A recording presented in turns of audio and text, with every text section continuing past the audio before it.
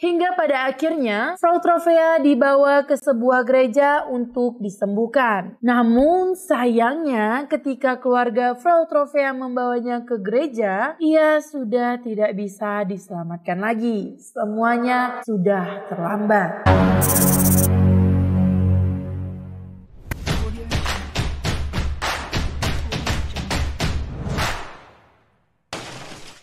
Tahukah kalian, dahulu pernah ada wabah yang bernama The Dancing Cloud, yaitu penderitaan menari sampai mati. Sangat mengerikan bukan? Menari mungkin menjadi hobi bagi sebagian orang. Tetapi coba kalian bayangkan, jika seseorang menari terus-menerus tanpa henti, bukan rasa senang yang didapatkan. Menari terus-menerus tanpa henti bisa membuat orang menjadi stres dan meninggal dunia. Dan inilah yang terjadi ketika ada dancing plague ataupun yang disebut dengan wabah menari menyerang Eropa pada tahun 1500 Ingin tahu lebih dalam tentang The Dancing Cloud? Tanpa berlama-lama, langsung saja simak video ini hingga akhir.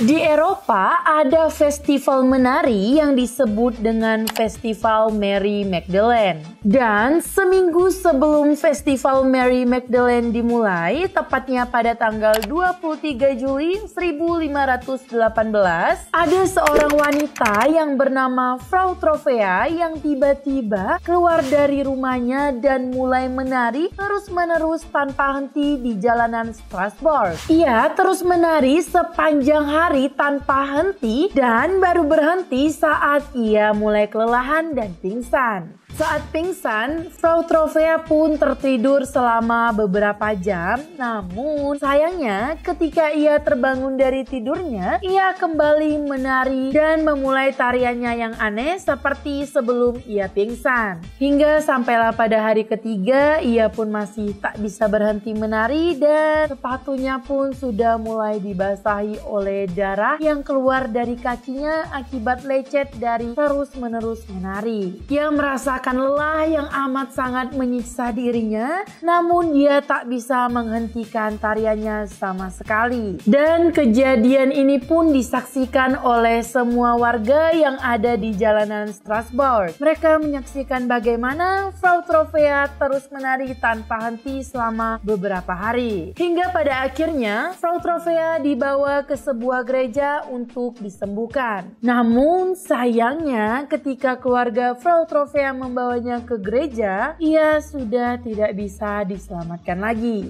Semuanya sudah terlambat. Setelah kasus kematian Frau Trovea akibat wabah menari, anehnya penduduk Strasbourg ikut menari di jalanan. Warga-warga Strasbourg juga mengalami apa yang dialami oleh Frau Trovea. Awalnya hanya 30 orang yang turun ke jalanan dan memulai tarian aneh mereka. Namun namun dengan seiring berjalannya waktu dari 30 orang yang turun menari bertambah menjadi 50, 100, 200, 300 sampailah 400 penduduk turun ke jalan Strasbourg dan memulai tarian aneh mereka tanpa henti. Mereka berhenti menari ketika kaki mereka benar-benar lecet dan tidak bisa dipakai untuk berdiri. Atau mereka berhenti menari hanya ketika mereka sudah mati. Pada bulan Agustus semakin banyak penduduk yang turun ke jalanan dan mulai menari. Yang berarti wabah ini sudah menyerang para warga Strasbourg selama dua bulan. Tentunya para warga Strasbourg yang melihat kejadian ini ataupun yang mengalaminya sendiri mulai bertanya-tanya siapa yang harus disalahkan perihal wabah yang sedang terjadi. Pada saat itu keadaan semakin parah. Ratusan orang terus terus-menerus turun ke jalanan dan menari.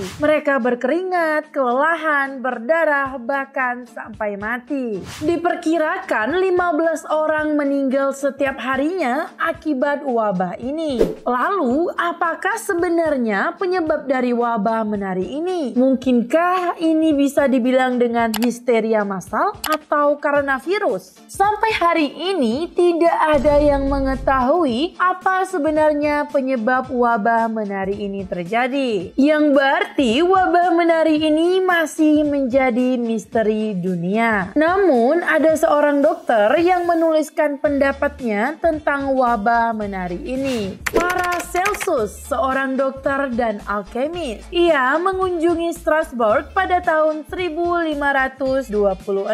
Selang beberapa tahun setelah insiden terjadinya wabah menari, tepatnya pada tahun 1518. Dia adalah orang pertama yang menulis penelitian tentang Nyonya Frau Trofea. Dia juga adalah orang pertama yang menggunakan istilah geografi untuk menggambarkan penyakit menari. Untuk penyebab wabah menari, Paracelsus memiliki pendapatnya sendiri. Usut punya usut, setelah melakukan penyelidikan, diketahui kalau suami Frau Trofea sangat membenci istrinya ketika istrinya mulai turun ke jalanan dan mulai menari. Paracelsus dan beberapa orang di jalanan Strasbourg percaya bahwa Frau Trofea awalnya turun ke jalanan dan mulai menari hanya untuk mengisengi suaminya saja. Namun sayangnya entah mengapa hari itu Frau Trofea turun ke jalanan dan tak bisa berhenti menari sama sekali. Dan ternyata Paracelsus juga menjelaskan tiga penyebab utama terjadinya wabah menari menurut ia. Pertama, penyakit ini dilahirkan dari imajinasi. Yang kedua, orang-orang ikut menari mungkin karena mengalami frustasi seksual. Yang ketiga dan yang terakhir, Paracelsus merasa kalau para istri yang tidak bahagia adalah penyebab utama terjadinya wabah menari. Hubungannya apa ya? Kembali lagi, ini hanyalah pendapat pribadi dan hasil penelitian dari para Celsus. Usut punya usut, ternyata wabah menari ini pernah terjadi sebelumnya. Jauh sebelum terjadi pada tahun 1518. Wabah menari ternyata sudah pernah terjadi di beberapa wilayah Eropa Barat, tepatnya di Jerman. Catatan sejarah menunjukkan bahwa pada tahun 1237, Sejumlah besar anak-anak terkena wabah menari tepatnya di kota Erfurt. Pada saat itu sekitar 100 anak mulai menari sampai ke kota Arnstadt dan kemudian pingsan karena kelelahan. Di saat pingsan, anak-anak ini dikumpulkan dan dikembalikan ke orang tua mereka masing-masing. Namun sayangnya beberapa anak meninggal tak lama kemudian dan dikatakan bahwa sisanya mengalami tremor seumur umur hidup. Dan lagi-lagi sampai saat ini tidak ada yang mengetahui apa sebenarnya penyebab dari wabah tersebut. Wabah ini menyebar dari satu orang ke orang lainnya tanpa kita ketahui bagaimana cara wabah ini menyebar. Pada saat itu bahkan beberapa orang yang mengidap penyakit wabah menari ini diikat di pohon di mana mereka akan pulih dalam waktu yang singkat hanya untuk menari lagi setelahnya. Beberapa korban mengklaim bahwa selama mereka menari, mereka tidak tahu apa-apa tentang lingkungan sekitar mereka. Mereka tidak bisa mendengar, mereka juga tidak bisa melihat, tapi mereka terus-menerus dipaksa untuk bergerak, menari, dan berteriak sampai mereka kelelahan.